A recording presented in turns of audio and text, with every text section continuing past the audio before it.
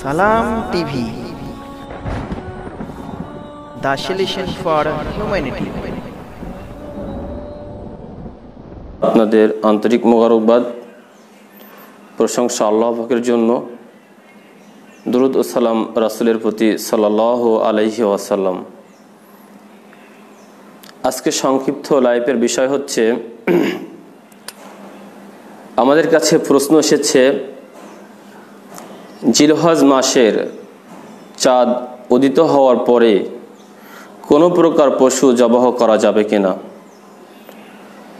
এ বিষয়ে আমরা বলতে চাই যে জিলহজ মাসের চাঁদ উদিত হওয়ার পরে আপনি আপনার বাড়িতে মেহমানদারি করার জন্য, খানাপিনা করার জন্য যে কোনো প্রকারের হাঁস, মুরগি, কবুতর, গরু, ছাগল যে কোনো প্রকারের পশু জবাহ করতে পারবেন, এখানে কোনো দোষ হবে না ইনশাল্লাহ যেমন বুখারির নয়শত তিরাশি, চুরাশি এবং পঁচাশি নম্বর হাদিস দিয়ে আমরা জানতে পারি।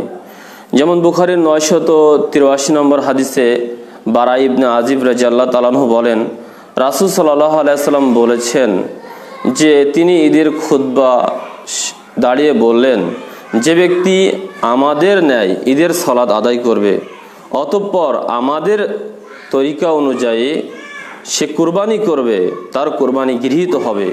আর যে ব্যক্তি সলাতের পূর্বেই কোরবানি করবে, তার কোরবানিটি গৃহীত হবে না, বরং গোস্ত খাওয়া হবে। তখন একজন সাহাবি বোরদা ইবনে নিয়ার রাজি আল্লাহ তালাহ দাঁড়িয়ে বললেন, ইয়া রাসুল সাল্লাহ আলহিহাসাল্লাম আমরা তো সলাতের পূর্বেই আমাদের কুরবানিকে জবাহ করে ফেলেছি। কারণ আমরা মনে করেছি, এ দিনটাই খানা পিনার দিন।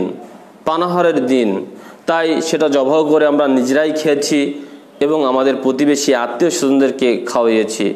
তখন রাসুল সাল্লাহ আলাইসাল্লাম বললেন যে, এটা শুধু তোমাদেরকে বকরির গোস্ত খাওয়া হয়েছে, আর কিছুই হয়নি, অতএব কোরবানি হয়নি।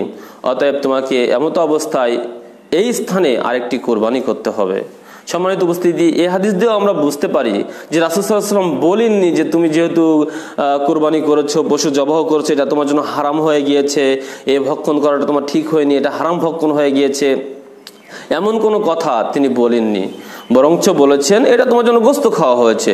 অতএব কোনো ব্যক্তি যদি জিরহজ মাসের চাঁদ উদিত হওয়ার পরে কোনো পশু জবহ করে, ভক্ষণ করে, তাহলে ইনশাআল্লাহ সেটা তার গোস্ত খাওয়া হবে, মেহমানদারি করা হবে, পানাহার করা হবে, কোরবানি হবে না। তবে এটাও আপনাকে জেনে রাখতে হবে যে আপনি জিলহজ মাসের ভিতরে একটি বকরি জবাহ করলেন, গরু জবাহ করলেন, কিন্তু কোরবানির দিন বলছেন যে, আমার সামর্থ্য নেই, আমি কোরবানি করতে পারলাম না। তাহলে হিত বিপরীত হয়ে গেল। অতএব আপনি যদি সমর্থবান ব্যক্তি থাকেন, কোরবানিও করবেন, এর ভিতরে আপনি মেহমানদারি করানোর জন্য যে কোনো ধরনের পশু জবাহ করতে পারবেন, এখানে কোনো প্রকার সমস্যা নাই।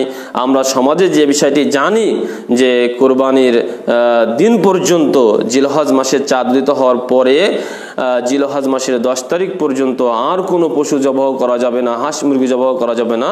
এটা ঠিক নয়, অতএব আপনি, আমি পানাহারের জন্য, খাওয়ার জন্য, মেহমানদারি করানোর জন্য যে কোনো পশু জবাহ করতে পারব, ইনশা বিষয় আমাদের কাছে প্রশ্ন রয়েছে, সেটা হলো এই যে আমরা আরাফার সিয়ামটি কবে থাকব? আরাফার সিয়ামের ফজিলাত শুনেছি, পূর্বের এক বছরের গোনা মাপ হবে, পরের এক বছরের গোনা মাপ হবে।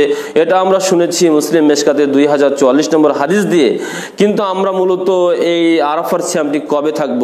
বাংলাদেশে যেদিন নয়জিল হজ না সৌদিতে যেদিন নয়জিল হজ তাতে আরাফা দিন কার্যকর হয়, হাজির আরাফার ময়দানে অবস্থান করে সেদিন থাকব। সম্মানিত দর্শক মন্ডলী এ বিষয়ে আমরা বলব যেহেতু আরাফার দিনটি সৌদিতেই হয়, বাংলাদেশে কখনো বা অন্য অন্য দেশে কখনোই আরাফার দিন আসবে না নয় জিলহাজ আসতে পারে। অন্য অন্য দেশে নয় জিলহাজ আসতে পারে, কিন্তু কখনো আরাফার দিনটি আসবে না। বাংলাদেশে কখনো হজের দিন আসবে না। অতএব আরাফার দিন যদি বলেন, হজের দিন যদি বলেন, সেটা সৌদিতেই হবে। হজের দিন বলতে সৌদিতেই হবে, আরাফার দিন বলতে সৌদিতেই হবে। বাংলাদেশের তারিখ হতে পারে নয় জিল হজ কিন্তু রাসুল সাল্লাহ আলাইসাল্লামের নয় তারিখের শ্যাম রাখতে আমাদেরকে বলেননি, বরঞ্চ নয় জিল হজের কথা বলেননি, বরঞ্চ তিনি বলেছেন যে আরাফা দিনের শ্যাম রাখতে হবে। অতএব যেহেতু সেটা আরাফা সৌদি আরবে অনুষ্ঠিত হয়, সৌদির সাথেই সেটা নির্দিষ্ট রয়েছে। আর আরাফা সৌদিতে ছাড়া আর কোথাও অনুষ্ঠিত হবে না। অতএব আমরা সৌদিতে যেদিন আরাফার দিন হবে, হাজিরা যেদিন আরাফার ময়দানে অবস্থান করবে, ওদিনে আমরা শ্যাম পালন করব। আমাদের দেশের নয় জিলহাজ নয়।